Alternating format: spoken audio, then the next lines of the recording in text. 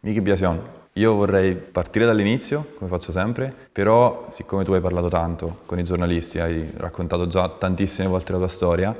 oggi io vorrei più parlare con il Miki appassionato che con il Miki campione del mondo. Quindi partiamo dal tuo inizio, dalla prima gara, dal, anzi prima ancora della prima gara, quando ti sei innamorato delle corse?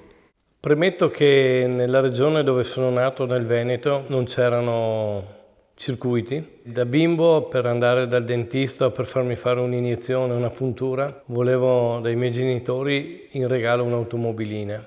Quindi per vedere le auto da competizione dovevo andare a vedere le corse su strada. Negli anni 70 c'erano dei rally importantissimi qui nel Veneto, rally di San Martino di Castrozza, valido per il mondiale piloti. Poi c'erano parecchie gare in salita, la Bassano Montegrappa, la Bolzano Mendola, sempre qui nella zona, nel Trentino. Quindi eh, mi sono appassionato delle macchine da competizione, però sulle strade. E di conseguenza il mio sogno era quello di diventare un giorno un pilota. In famiglia non c'era passione per le corse, quindi devo dire che ho curato questa mia passione proprio da, da solo, cioè con amici, con appassionati, con gente amante delle, delle corse. Effettivamente mia madre è stata la prima donna nel Veneto ad avere la patente, quindi era già molto evoluta come,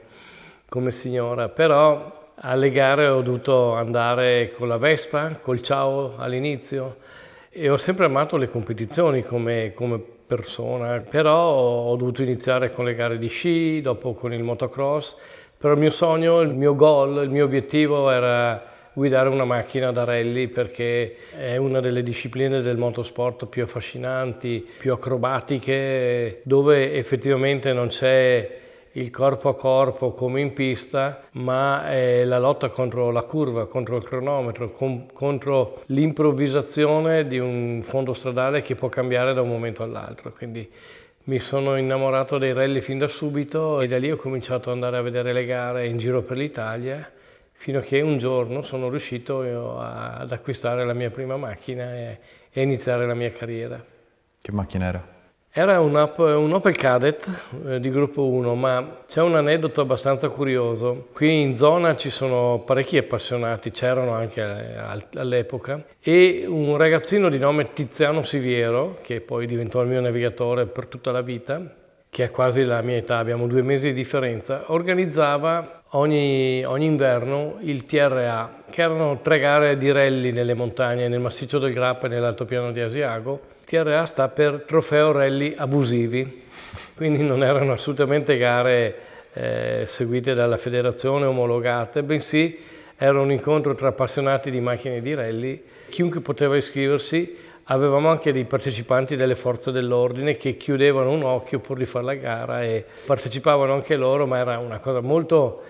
di vera passione, con un certo coefficiente di sicurezza perché la partenza era a mezzanotte, si finiva alle 6 del mattino in mezzo, ai, in mezzo ai boschi, al limite si trovava un cervo, un capriolo, ma nient'altro. E in una di queste gare, eh, con la Renault 5 di mia madre, eh, uscii di strada rovinosamente per evitare un concorrente che aveva rotto la macchina dietro una curva. Questo concorrente era il capo officina di una concessionaria Opel il quale mi disse, senti ma tu devi correre seriamente in macchina, non fare il TRA. Io ti metto a disposizione l'assistenza e tutti i pezzi di ricambio e tu compri la macchina e, e l'anno prossimo cominci a fare le cose sul serio. Questo Massimo Frigo mi ha dato questa opportunità e da lì è iniziata la, la mia carriera di pilota nel campionato Triveneto con questa Opel Cadet che Devo dire, all'epoca c'era il trofeo 112 dove quasi tutti i piloti italiani iniziavano a, ad accelerare, a frenare, ad usare il freno a mano, ma questa opportunità che mi aveva dato questo capo officina e questa concessionaria di Bassano è stata eh, veramente irrinunciabile. E cominciai così a, a correre con questo Opel Cadet, il gruppo 1, che poi mi portò anche a fare dei risultati importanti primo anno di corso 11 gare, 11 arrivi, quindi già una certa regolarità, tra virgolette. E mi diede appunto l'opportunità di conoscere Virgilio Conrero, che era il grande mago dell'Opel e capo di Opel Motorsport Italia, il quale mi disse dopo, dopo pochi mesi che l'avevo conosciuto di, di andare a trovarlo a Torino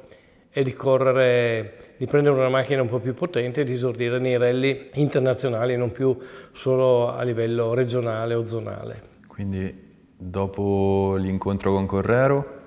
quali sono state le prime gare poi? Devo dire che ho avuto una carriera molto fortunata perché nello sport in generale ci vuole il talento, ci vuole la passione, lo spirito di sacrificio però se sei sfortunato non ottieni niente, nel senso che ci sono dei piloti bravissimi, velocissimi, che però hanno vinto poco nella loro carriera. Io ho esordito con un Opel Ascona 2000 gruppo 2 in Sicilia proprio l'anno dopo perché avevo iniziato nel 79 e quindi nel 1980 mi sono presentato nei rally internazionali dove c'erano tutti i migliori piloti italiani ed europei e subito all'esorio ho fatto con una vettura non da assoluto, ma ho fatto un quinto posto assoluto in Targa Florio, poi un altro quarto posto assoluto all'Isola d'Elba, sempre vincendo la, la, categoria e alla fine anno mi sono trovato campione d'Italia della categoria di gruppo 2 e già a metà stagione la, la Michelin aveva cominciato a fornirmi i pneumatici, l'Opel a darmi i ricambi e quindi questo giovane esordiente di, di 21 anni si era finalmente conquistato la, la, fiducia di una squadra ed ero stato appunto poi, vincendo il titolo italiano, assunto dall'Opel per fare le gare nel 1981 con una vettura identica a quelle ufficiali ma con i colori eh, delle, dei concessionari Opel italiani. Quindi immediatamente, eh, già dopo, come si può dire, dopo due anni di corse, eh, ero già professionista. Un record in un certo senso da il fatto di non dover più utilizzare dire, il budget e gli aiuti dei miei genitori e degli sponsor, bensì di ricevere già un piccolo stipendio per correre in macchina. La cosa, bella, la cosa più bella, che mi è successa in questi due anni è che eh, un grande pilota, il tedesco Walter Röhr, anche lui due volte campione del mondo, nel 1977 era in Italia per partecipare al rally di San Martino di Castrozza, valido per il Mondiale Piloti, per la prima volta alla guida di una Fiat, di una 131. E durante le ricognizioni del percorso che lui aveva fatto con una Porsche fu fermato dal vigile del mio paesino dove abitavo qui vicino a Bassano del Grappa allora. Ed io con la Vespa mi ero fermato a fare da interprete perché Röhr non parlava italiano, il vigile non parlava tedesco e quindi io mi sono messo lì di mezzo parlando un po' in inglese con Walter Röhr e ho spiegato al vigile che era un grande campione che non doveva dargli la multa perché era qui come professionista, non era eh, che andava in giro con la macchina smarmitata a disturbare la gente. E così fu una, un incontro, io avevo a casa, eh, sai ragazzini al tempo avevano le figurine panini con i calciatori, io avevo le foto di Röhrl, di Vatanen, di, di tutti i vari piloti di Miccola, di quegli anni magici del rally. La cosa incredibile è che nel 1981, quando appunto passai alla squadra Opel, partecipai al rally mondiale di Sanremo con un Opel Ascona 400 e Röhrl correva anche lui con la stessa macchina. E prima della partenza lo trovai alle verifiche e gli dissi buongiorno Walter, come stai? E lui mi guarda e mi dice ma tu sei Miki Vespa? sì Walter, sono io Miki Vespa. E cosa ci fai qua? Guarda, non te lo dico, corro con una macchina identica alla tua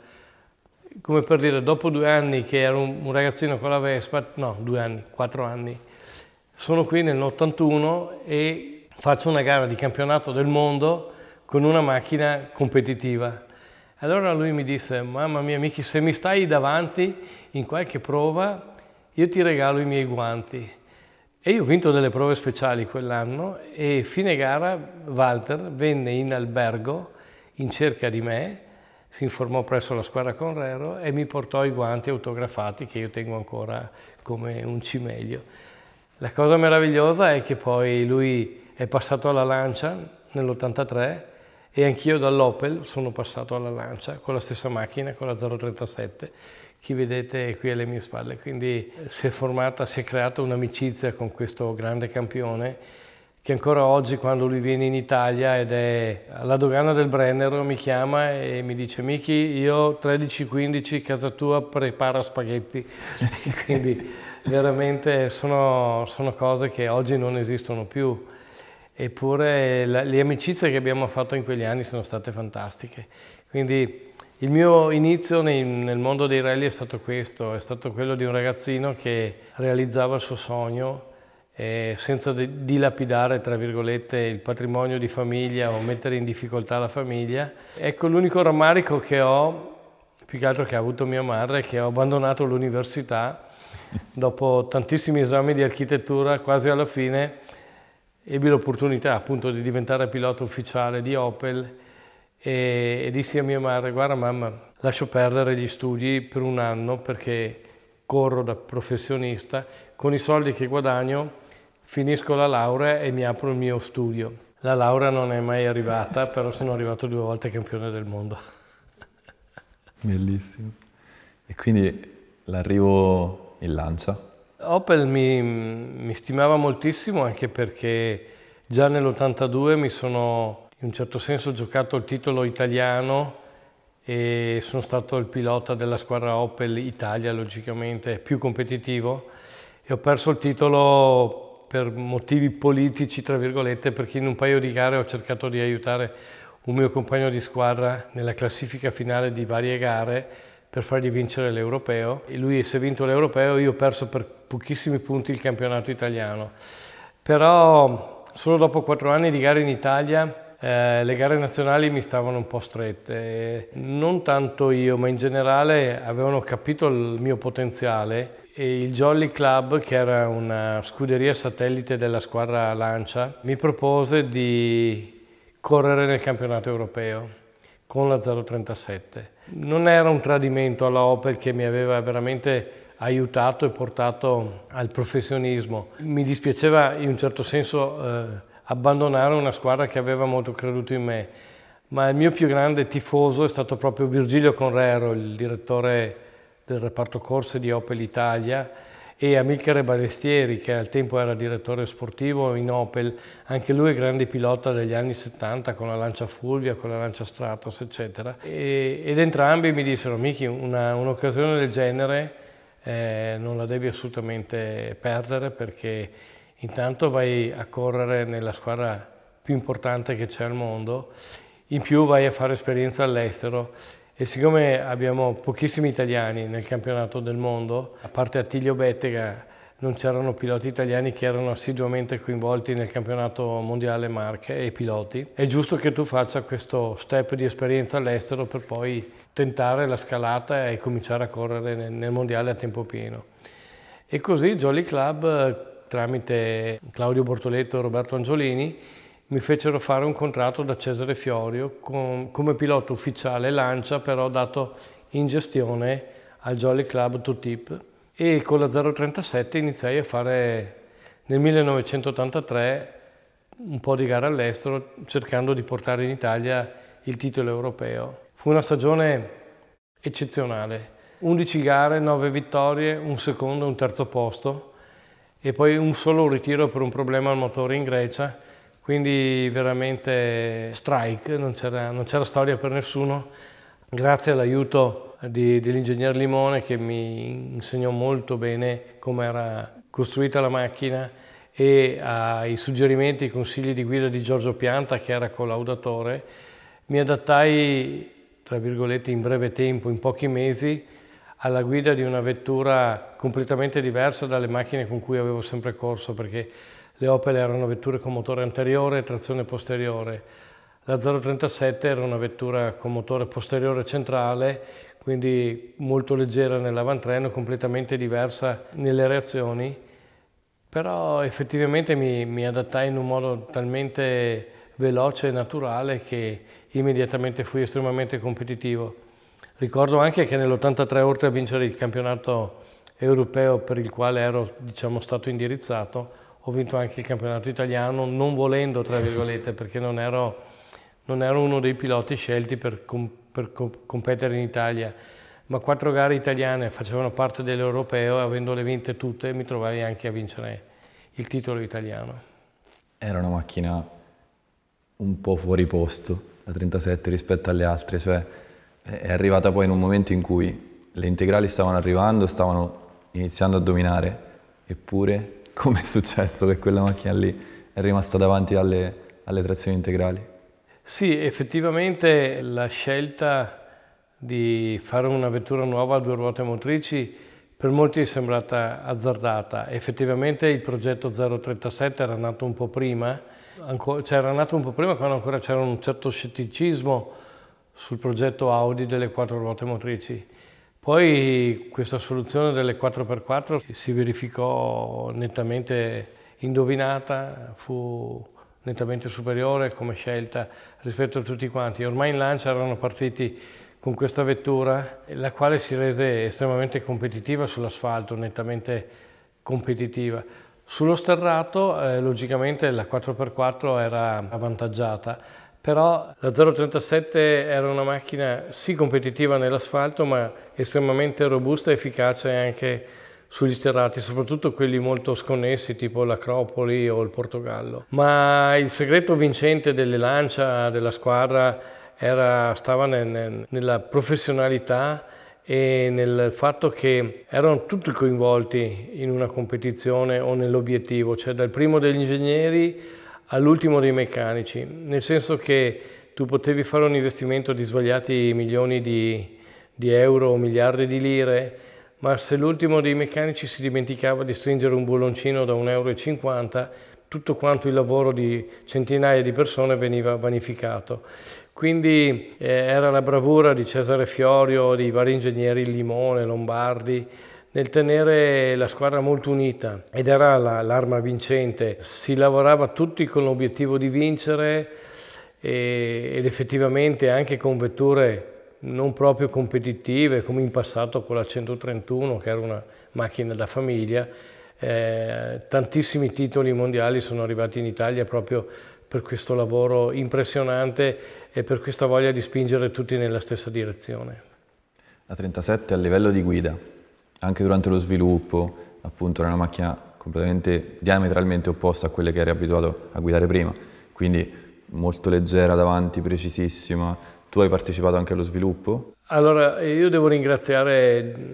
la Lancia, nel senso Giorgio Pianta, che quando dall'Opel mi, mi, chiamò in squadra ancora prima di iniziare la stagione sportiva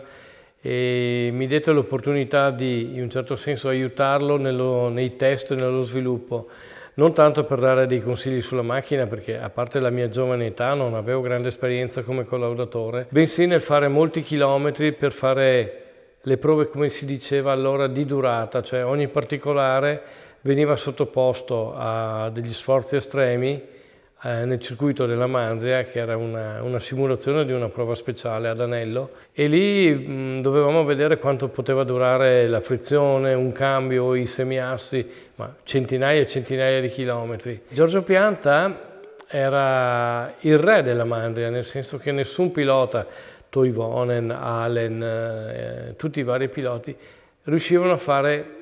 i tempi che faceva lui. E infatti lui non voleva mai che si andasse a fare i test fuori dalla mandria perché eh, diceva abbiamo dei termini di paragone, quando voi riuscirete a fare il mio tempo vuol dire che, che vi siete abituati alla macchina. E Giorgio Pianta mi, mi diede dei consigli mo, molto importanti perché effettivamente io ero abituato a fare la, la, la staccata e poi a, a inizio curva accelerare e guidare in derapata, con, ero abituato così con l'Opel che aveva quasi tutto il peso sull'asse anteriore.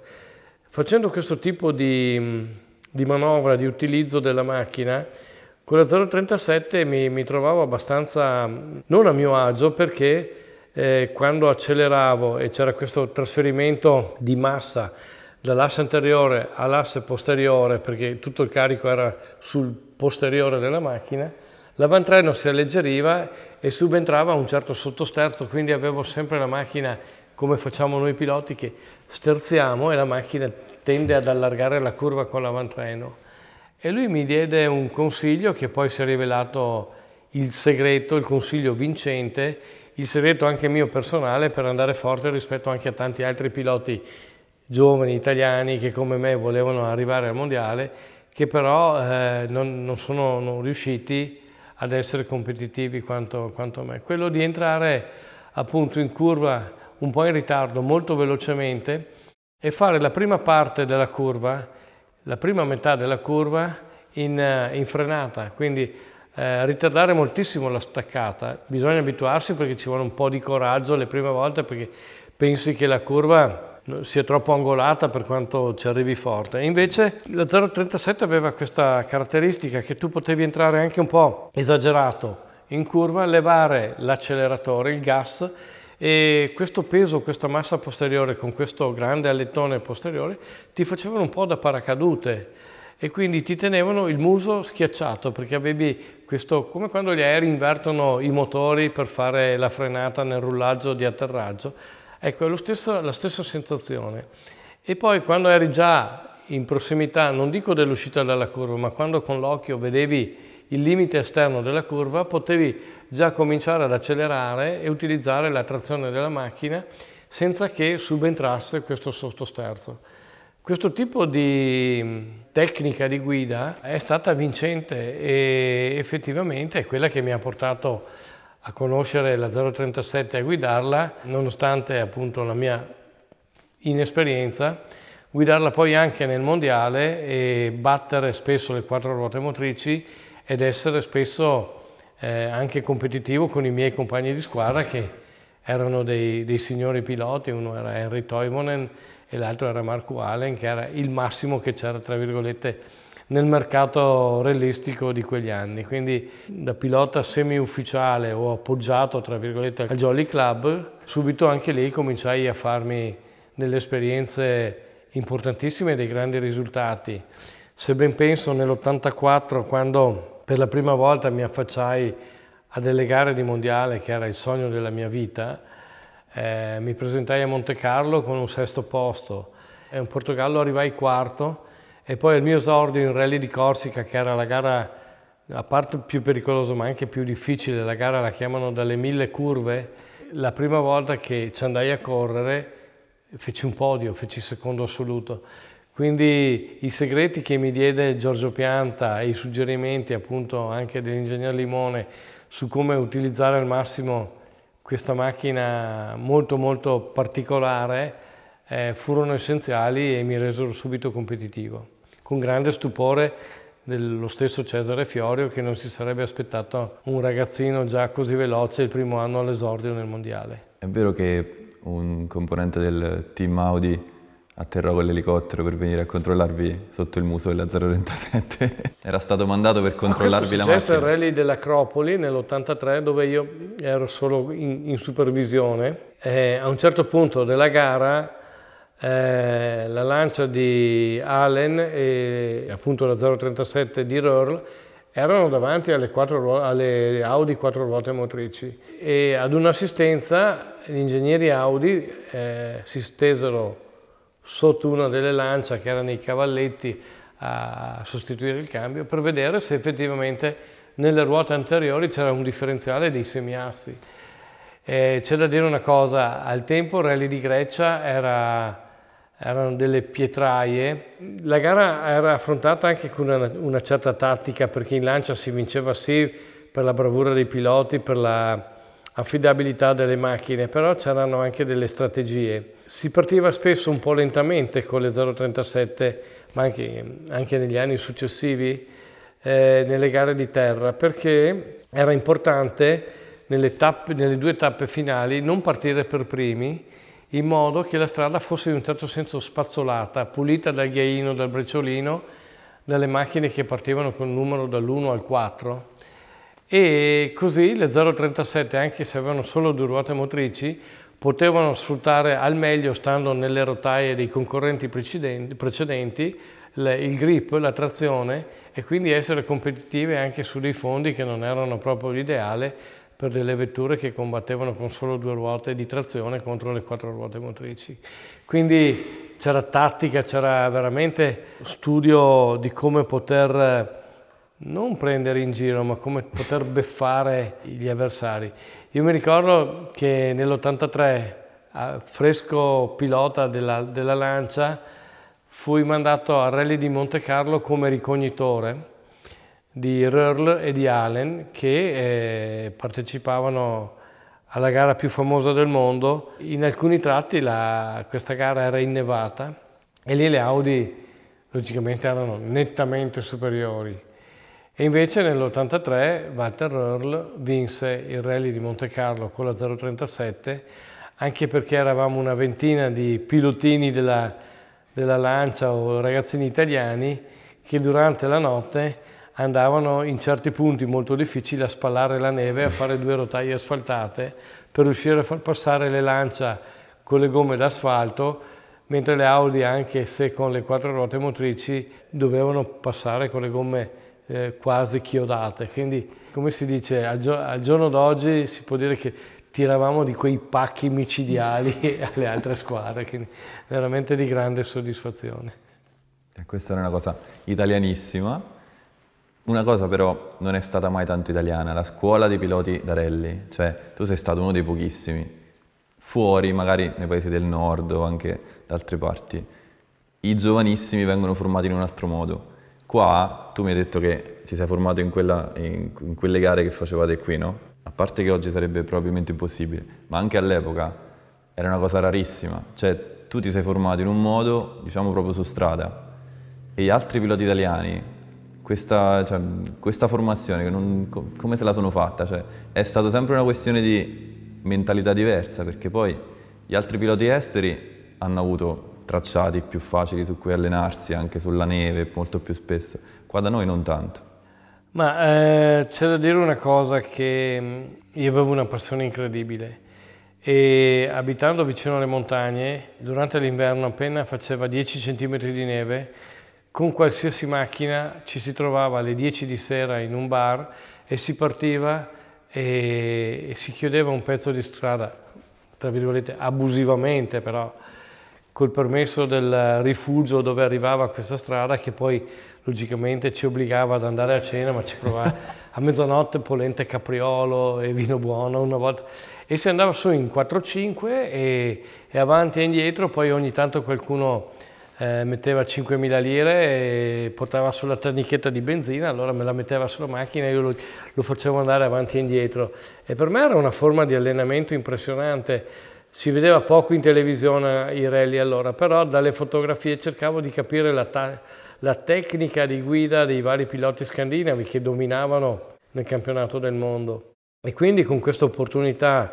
di andare su due o tre volte alla settimana per tre mesi all'anno sulla neve, a, anche con delle carriole di macchina. L'importante è che avessero le cinture buone, e, i fari e, e, le gomme, e, le gomme, da neve e su e giù dalle 10 di sera a mezzanotte l'una, poi eh, ogni tanto ci si nevava, allora lì arrivava su uno col trattore, ti tirava fuori, allora gli dovevi pagare la birra. Era tutta una piccola organizzazione che avevamo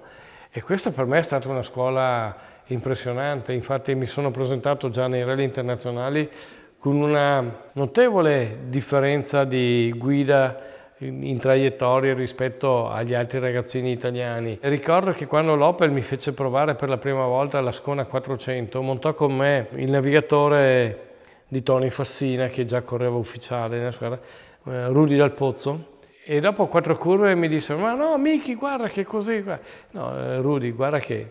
ho visto i filmati, all'estero fanno così. Sì, ma ogni curva sembra che tu, tu la fai in anticipo, poi arrivi in ritardo. Allora, dopo un po' di passaggi, se ha capito che era il mio stile di guida, che non era pericoloso, bensì era molto efficace. E ancora oggi dice, guarda, la prima volta che sono salito in macchina con te, ogni curva alzavo le gambe perché avevo paura che che, che tu andassi addosso all'interno della curva, invece era una cosa che mi ero studiato nei, nei vari, nelle varie riviste, vedevo le foto di queste macchine che erano già girate prima della curva e poi facevano la curva in derapata ma uscendo già in traiettoria, mentre noi italiani in generale uscivamo ancora in sbandata dalle curve. E quindi con questa mia, da, da autodidatta, con questo mio allenamento, mi sono avvicinato molto di più alla, alla guida dei, degli scandinavi i quali è logico che su determinati fondi sono più veloci dei piloti latini perché guidano per otto mesi all'anno sulla neve o la maggior parte delle strade sono, non sono asfaltate. Mentre in Italia c'erano pochissimi rally in terra, soprattutto per problemi economici perché dopo una gara eh, rimettere in buone condizioni uno, uno sterrato ha dei costi importanti, mentre una gara su asfalto, dopo la gara la, la, non c'è nessuna manutenzione da fare. Quindi non c'è mai stata in Italia una grande tradizione di piloti su neve o su, o su sterrato. Ed è stato forse questo, questo mio allenamento che mi ha portato ad essere subito competitivo a livello internazionale. Premetto che io in Italia facevo grande fatica a stare davanti a dei giovani arrembanti come i vari Cunico, Cinotto, Zanussi, eh, Toniana, Budaferi, perché effettivamente sull'asfalto loro erano molto molto preparati, però correndo io da un po' di anni sull'asfalto e allenandomi molto sulla neve mi sono eh, meritato i gradi di, di, di italiano utilizzato nel campionato del mondo dalla Lancia per poi portarmi appunto livello, alla squadra Martini nell'86 con la, con la S4, finalmente con i colori della Martini Racing sulla tuta che cioè, si può dire che portarmi a vedere anche in un bar le bottiglie della Martini era come portare un bambino in pasticceria, cioè, i colori Martini per me volevano dire eh, aver raggiunto l'obiettivo della mia vita, il sogno della mia vita e averli sulla tuta ed essere un pilota della squadra Martini era il massimo che potessi avere. Riuscire a trasformare il proprio hobby, la propria passione nel proprio lavoro, poi questo lavoro ti porta a essere anche vincente e anche a guadagnare delle cifre che come architetto non avrei mai guadagnato, eh, cosa vuoi di più dalla vita? Un amaro?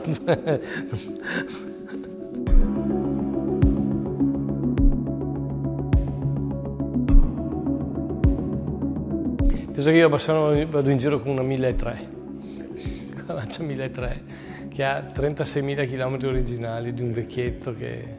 l'ho trovata è targata Cuneo, insomma,